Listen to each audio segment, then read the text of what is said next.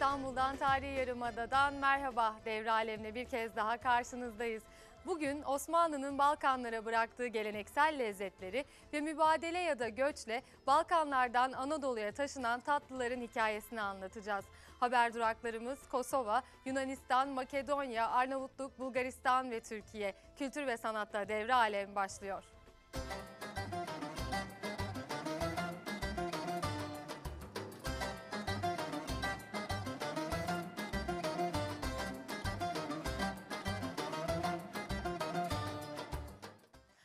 Osmanlı yayıldığı topraklara tarih ve mimarinin yanı sıra zengin bir kültürel miras da bıraktı. Bu mirasın önemli parçası olan mutfak kültürü bugün Balkanları Anadolu'ya bağlıyor. Asırlık lezzetlerin hikayesini yemek tarihçisi akademisyen Özge Samancı ile konuştuk. Osmanlı Devleti e, özellikle 15. yüzyıldan itibaren e, Balkan coğrafyasında geniş topraklara yayıldı. Aslında sadece Balkan değil, Orta Doğu hem de Kuzey Afrika'nın da bir bölü olmak bir bölümü olmak üzere artık 16. yüzyılın sonunda e, bildiğimiz gibi bir cihan imparatorluğuydu. Varlığını sürdürdüğü topraklar üzerinde bıraktığı bir miras var. Bu ortak bir miras. Bu ortak mirasın bir bölümünde yemek kültürü oluşturuyor. Bu yemek kültürünün oluşmasında hem e, fethedilen topraklarda yaşayan mutfak kültürlerinin etkileşimi var.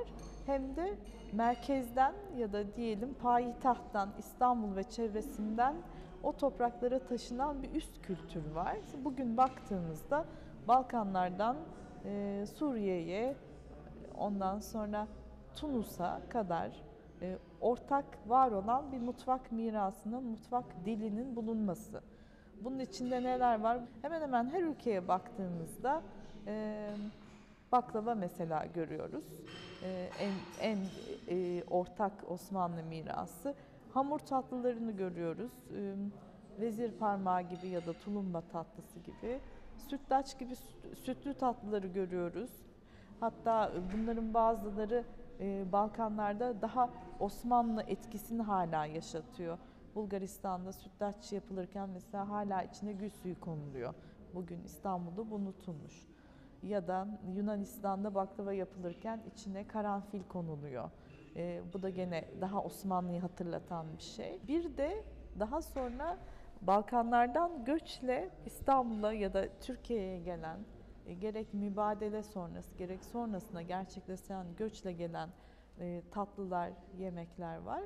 Bu tatlıların arasında mesela kaymaçina bir e, Balkan tatlısı olarak bilinir. E, tırlaçe gene Balkan tatlısı olarak bilinir. Ee, Osmanlı mutfak kültüründe tatlının yeri çok önemli. Özellikle tabii ki e, seçkin mutfaklarda saray, konak, halk içinde kutlama günlerinde e, tatlı çeşitleri çok fazla.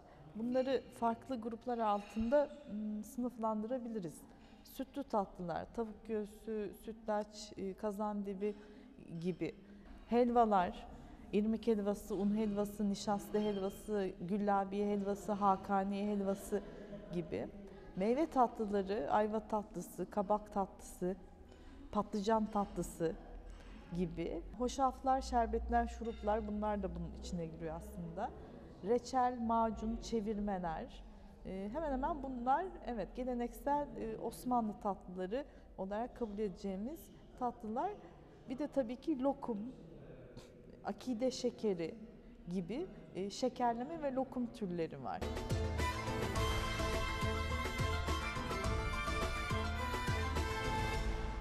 Osmanlı saray mutfağından dünyaya yayılan geleneksel tat lokum ve baklava ile devam ediyoruz.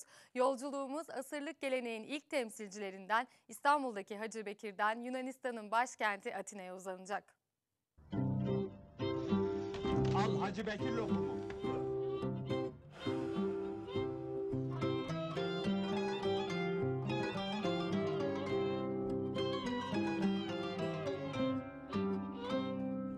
Osmanlı döneminde önce Balkanlarda başlayan ardından Avrupa'ya yayılan bir Osmanlı geleneğinin tadı ve lezzeti lokum ve iki asırdır bu lezzetin değişmeyen adresi Hacı Bekir.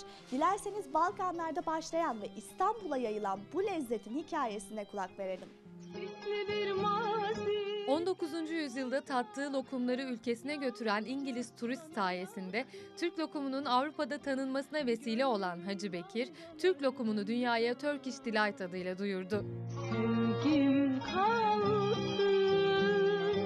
Ya Ben dedemden duyardım hep hani lokum iki elin kanda olsa 48 saatten önce kesilmez yani o dökünce müşteri kapıda da bekliyor olsa malın da kalmamış olsa e, o bekletilecek 48 saat böyle bir takım ilkeler vardı.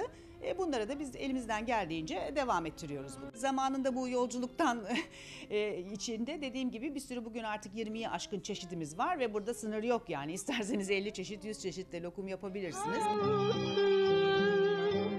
Hacı Bekir lokumları ilk kez 1873'te Viyana fuarında gümüş madalya ile ödüllendirildi. Fuarda batılı ülkelerin marka kullandığını gören Hacı Bekir, Osmanlı'nın ilk markası oldu. Hacı Bekir'de geleneksel lokumların yanı sıra Osmanlı lezzeti kabul edilen akide şekerleri de bulunuyor. Akide çok eskilere dayanan bir tarif yine. Zamanında mangır şekeri olarak yapılıp e, Yeniçerilerin ulufe törenlerinde dağıtılırmış ve akitten geliyor. Yani Yeniçerilerin devlete olan bağlılığını temsil eden bir şekermiş. Yani her şey yolunda demek akide yeniyorsa.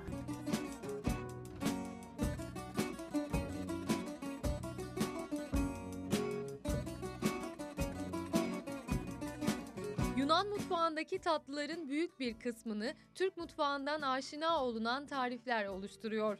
Tavuk göğsü, kazan dibi, baklava gibi birbirinden lezzetli tatlıların isimleri Türkler için olduğu kadar Yunanlar için de tanıdık.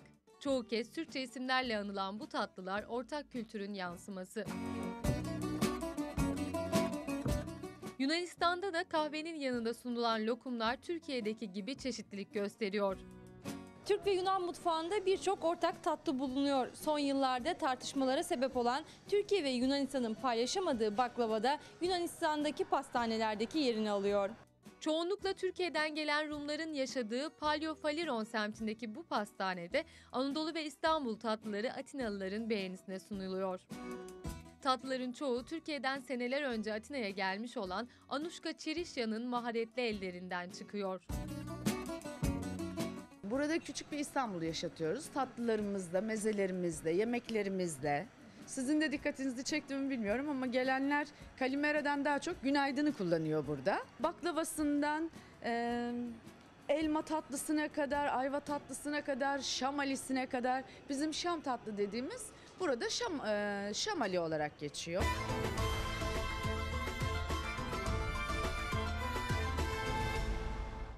Osmanlı denince akla gelenlerden biri de şerbetli tatlılar. Bu lezzetler Türkçe isimleriyle bugün de Balkanlarda yaşatılıyor. Tiran ve e, Tiran ve Kosova'da Osmanlı tatlılarının izini birlikte sürelim.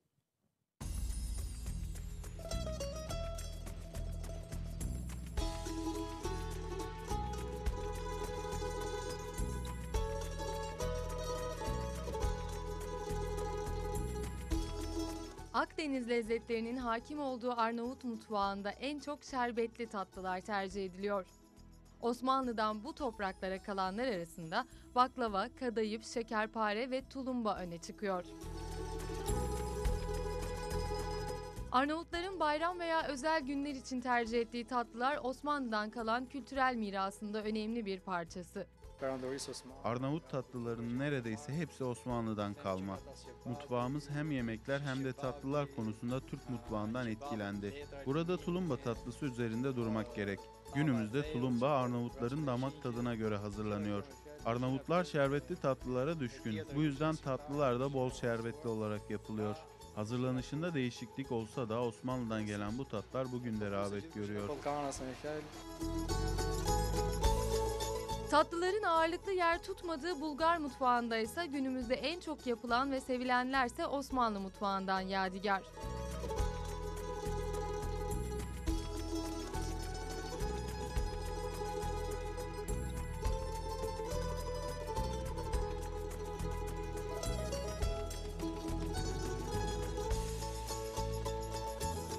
Klasik bir Bulgar sofrasında böyle Bulgar tatlılarının yer aldığı bir masadayız. Fakat evet ne tesadüftür ki aslında buradaki tatlılar başta oşaf, sütlaç, aşure derken birçok ortak tada ve ortak isme rastladık. Bugün Bulgar sofralarını zenginleştiren bu tatlar ortak kültürün simgesi. Balkanlarda uzun yıllar birlikte yaşadık. Bu nedenle tatlarımız da ortak. Mesela baklava tamamen Türk tatlısı. Burada da en çok sevilen tatlılardan. Bizim bayramlarımızda da mutlaka baklava olur. Hoşaf da bizler için oldukça önemli. Bereketi ve bolluğu simgeler. Kuru meyvelerle kaynatılır, şeker veya balla tatlandırılır. İçindeki meyvelere göre bereketin de bir o kadar artacağına inanılır.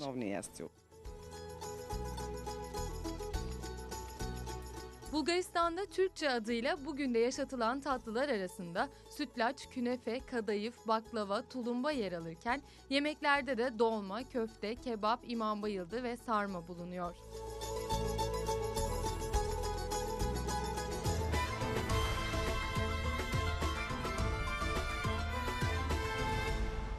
Leblebi ve tarçının en çok yakıştığı boza var sırada. Şimdi hem Prizren hem de İstanbul'da iki dükkana konuk oluyor ve Balkanlarla Anadolu'yu buluşturan bozanın öyküsünü dinliyoruz.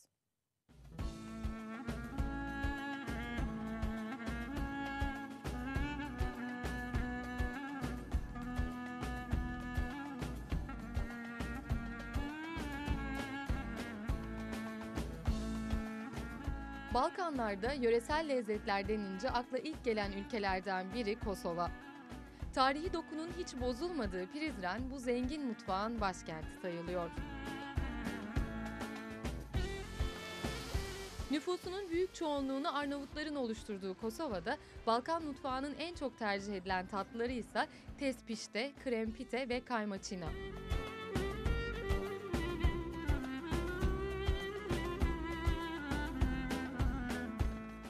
Uzun yıllar Osmanlı hakimiyetinde kalan Kosova'da Osmanlı'dan miras tatlara da hala rastlanıyor. Vazgeçilmezler arasında baklava ile yüzyıllardır değişmeyen tat boza bulunuyor. Kosova'da tatlı denince akla hemen Boşnaklar geliyor ki bir sürü Boşnak da özellikle yurt dışında bu yöresel lezzetleri tanıtmış durumda. Bizim önümüzde de Prizren'e dair özel lezzetler bulunuyor. Bunlardan bazıları ekler, bombise ve orasnica. Aslında bunlar Prizren'in en özel tatlıları arasında yer alıyor. Bir diğer önemli lezzet de hemen elimizde bulunan boza. Aslında Türkiye'deki boza ile aynı ismi taşısa da tatlarında biraz fark var. Türkiye'deki bozaya kıyasla daha sulu kıvamda ve e, daha ekşimsi bir tatta. Kosova'da boza geleneğini sürdürenlerden biri Boşnak Hamza ailesi. Ailenin son temsilcisi ise Muharrem Hamza. 1970'lerde bu vazifeyi devraldım. Dedelerden kalma bu gelenek Osmanlı dönemine dayanıyor. O tatlıcılık geleneğini Kosova'da sürdürmeye çalışmış. Üç amcam da bu özel lezzetleri Türkiye'nin birçok yerine yaymaya çalışıyor. İki amcam İzmit, İstanbul'da yaşıyor. Biz Kosova'da yaklaşık 100 yıldır aynı mekandayız. Boza turistler tarafından çok fazla seviliyor.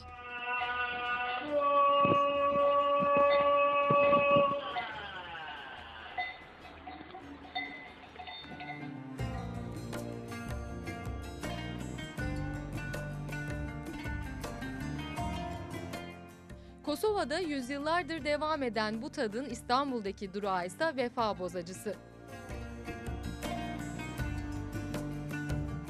1870 yılında Arnavutluk'tan İstanbul'a gelip yerleşen Hacı Sadık Bey'in 130 yıllık geleneğinin simgesi işte Vefa Bozacısı. Balkanlardan gelen bu gelenek bugün İstanbul'da Vefa semtinde hala yaşatılıyor.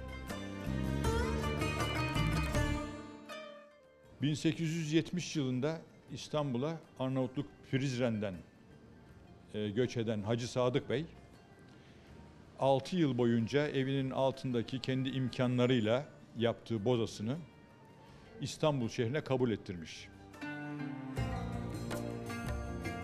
Osmanlı için bu denli önem taşıyan boza, İstanbul'da Hacı Sadık Bey tarafından ilk ticarethane ünvanıyla Vefa'da bu dükkanda açıldı.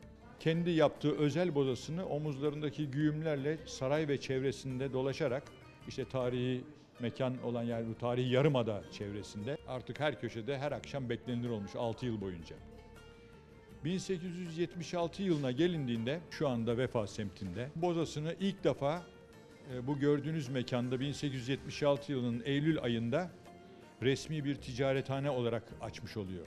İstanbul Vefa Bozacısı yıllardır geleneksel bir lezzetin hem simgesi hem de son temsilcilerinden biri.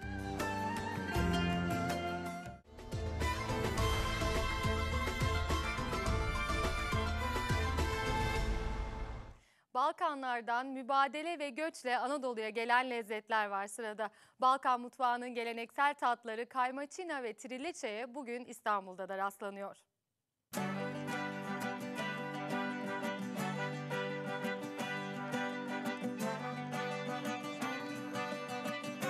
Osmanlı bünyesinde yüzyıllarca bir arada yaşayan farklı milletler, kültürleri, geleneksel adetleri ve kıyafetleriyle ortak unsurlar barındırıyor. Balkanlardaki yemek kültürü de Osmanlı Türk mutfağından derin izler taşıyor. Yaşam ve ortak mutfak kültürü alanında gerçekleştirdiğimiz çalışmalar ve alan araştırmaları bu topraklarda 500 yılı aşkın süre bir arada yaşamanın ne anlama geldiğini anlamamıza yardımcı oldu. Osmanlı mutfağı ile Makedon mutfağı öylesine iç içe geçmiş ki birbirinden ayırmak imkansız. Yemekler ve özellikle tatlılar iki kültürün ortak değeri olarak karşımıza çıkıyor.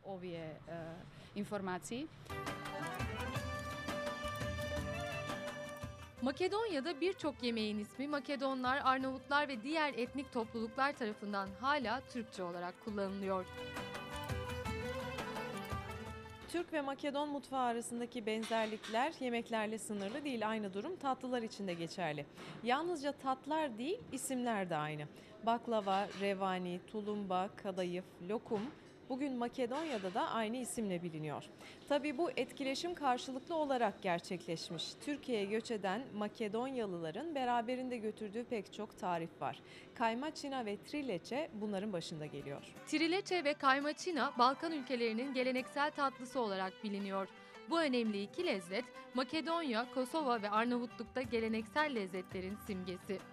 Balkanlardan Anadolu'ya uzanan bu lezzet bugün özel günler ve bayramlarda yalnızca evlerde pişiriliyor.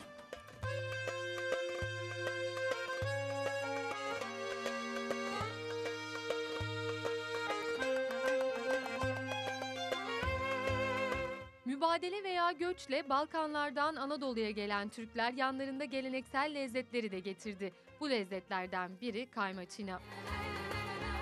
Üsküp'te bereketi müjdelemek için komşulara ikram edilen bu geleneksel tatlıya bugün İstanbul'da birçok tatlıcıda rastlamak mümkün. 1964'te Üsküp'ten İstanbul'a dedeleriyle birlikte gelen Üzeyir Şenol da Kaymaçina'nın yolculuğuna şahitlik edenlerden.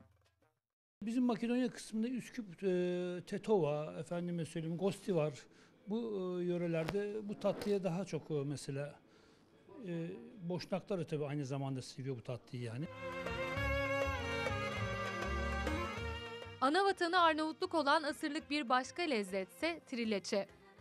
Osmanlı Balkanlardan çekilirken ardında çok sayıda miras bıraktı. Osmanlı mutfağı da bu miraslar arasında yer aldı. Hem Balkan coğrafyasında hem de Türk mutfağında kendini gösteren Balkan tatlıları bugün hala önemini koruyor. Trileçe'nin Balkanlarda başlayan lezzet yolculuğu bugün de İstanbul'da Makedon göçmenler tarafından sürdürülüyor. Çok güzel, e, dedelerimizden gelen bir lezzet e, ve hala sürdürülüyor. O konuda çok mutluyuz. Böyle bir mirası yani e, bırakmış olmaları şu an hala Türkiye'de de şu an ve bizler buralarda e, bu mirası sergiliyoruz.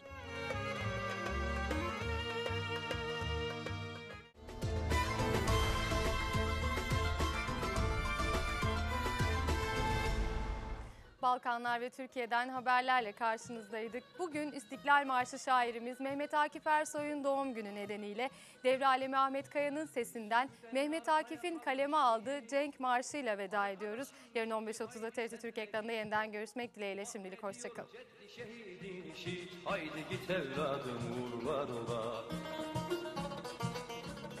Haydi git evladım açıktır yolun. Zalimlere karşı bükülmez kolun. Bayrağı çek ön safa geçmiş bulun. Uğruna Uğrun açık olsun uğurlar ola. Uğrun açık olsun uğurlar ola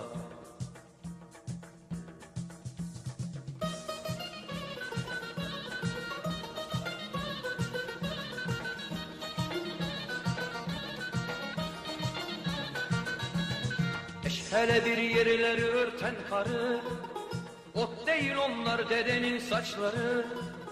Dinle şehit sesleridir rüzgarı Haydi git evladım ola